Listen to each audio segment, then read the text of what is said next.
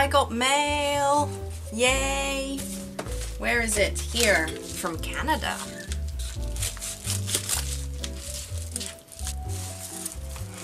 It's like proper happy mail. Yay. Oh, it's so pretty.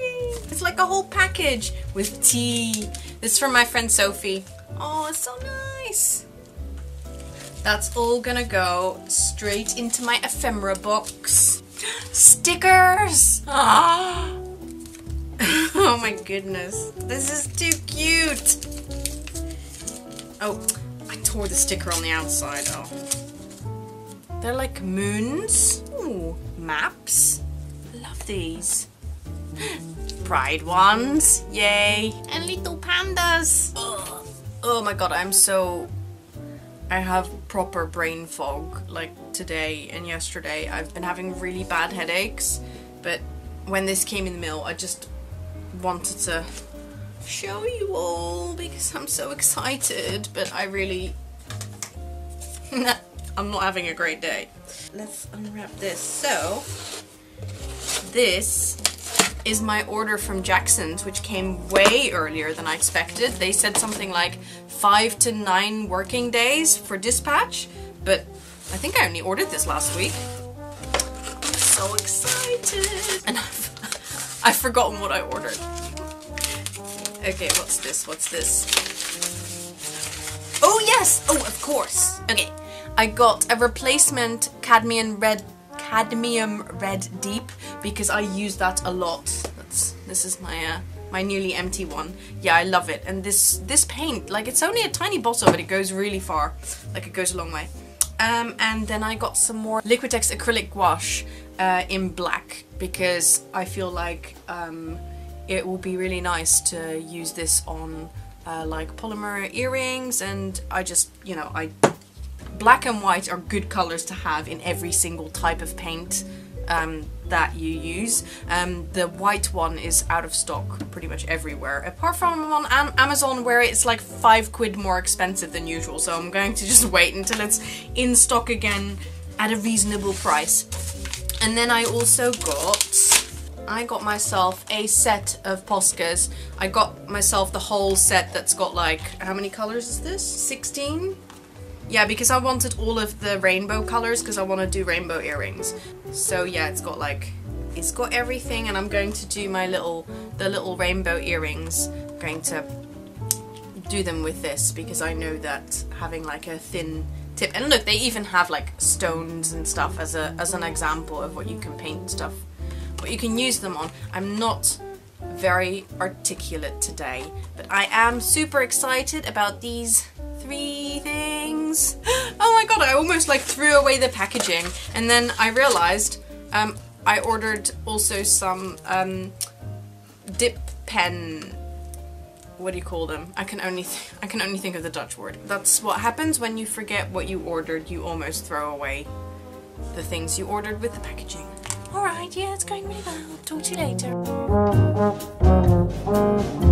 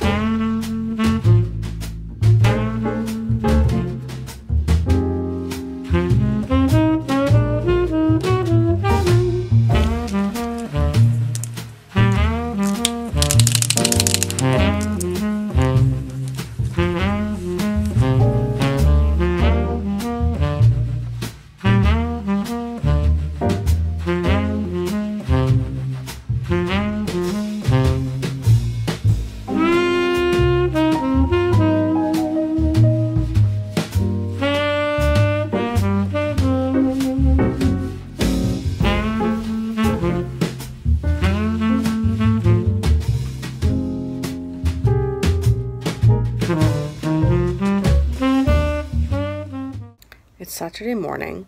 It's 10 past 10 in the morning. I just said it was the morning. The most challenging thing to me about the weekend, about it being Saturday, time off, is to feel like this day belongs to me. Because I was noticing myself already kind of feeling like, oh, the day doesn't belong to me. I gotta do this, this, and this. And I was pondering the difference between obligations and you know the objective truth outside myself. Like i am a mum i have kids i have a house you know there's things to do. But also what is it that i'm doing? Like when is it me who is making obligation some kind of objective truth rather than something that i choose to do because nobody's telling me you need to do this this and this it's me telling myself, but somehow feeling like it's other people telling me.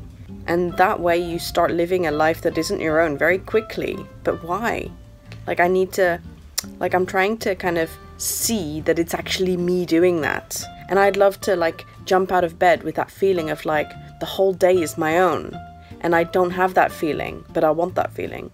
And I was just talking to Andrew about it, and he put it really nicely. He was saying, like, confusing. I don't remember the words he used. He was confusing responsibility with obligation or something. He didn't use the word responsibility, it was something else. Commitment. Uh, confusing commitment and obligation. Philosophy with Iris on a Saturday morning, yo.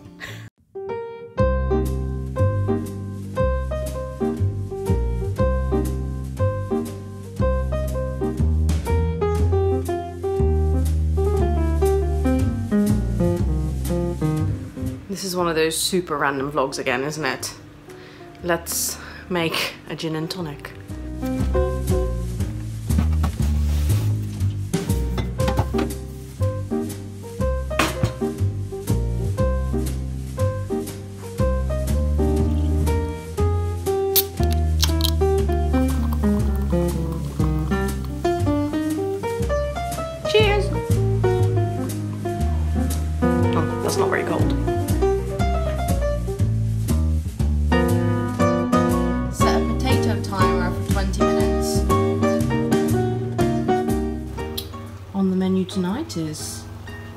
Mashed potatoes, steamed cauliflower, gravy, and uh, some vegetarian stuff.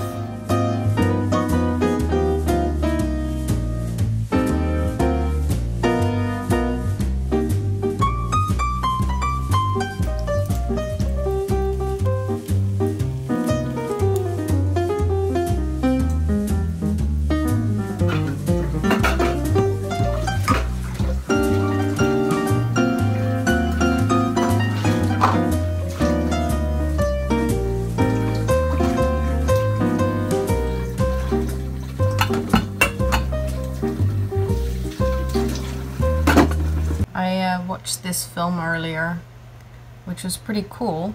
It's got this really awesome artwork in it. Like, it's about this teenage girl who creates a zine. And, um, it's like it's just really inspiring. And it makes me want to make a zine, except, um, she does it because she has something to say. And I know this is going to sound stupid, because obviously I make vlogs and online content, but I don't feel like I have anything to say if I made a zine. Like, what would I make a zine about? I don't know. Leave your suggestions in the comments. Not, not that I'll probably do something um, that doesn't come from inside myself, but like, you know, what should I make a zine about? It just looks. I love the kind of like the aesthetic. It's it's so it's so 90s, I guess. It's very mixtape and stuff. I like it, but I don't really know what to do with it. Maybe I don't have to do anything with it. Maybe I just had to enjoy the film, which I did. I must have so many shots of me switching on the camera and then going like this. Hello, I'm back. Obviously from your point of view I was never anywhere other than here, but I have had uh, such a difficult week. I was fighting lots of headaches and fatigue and it was just like a real struggle but i wasn't like identifiably ill but like there was definitely something up and i am finally feeling a bit better which is just such a relief because like okay having one bad day it's like okay you wake up the next day and like you're having a good day again or like you know it's kind of like ups and downs but when it kind of goes on for several days i start doubting myself i start really kind of feeling like it's the beginning of the end I, it's just my brain does that. Um, and so I'm finally just feeling more energetic in my body and in my mind. I had like horrible kind of brain fog where I just couldn't couldn't get myself to do anything or feel enthusiastic about anything. And I'm sure it's like a, a physical thing compounded by a mental thing or a mental thing compounded by a physical thing, whatever. Um, but yeah, I'm finally just feeling like myself again and oh, it feels it feels so good. And I um, have been working on something very exciting. I am super excited, and I'm not gonna tell you yet. I'm just gonna show you what I'm going to be doing right now, and then uh, maybe you can guess it, and then I will uh, chat to you about it later.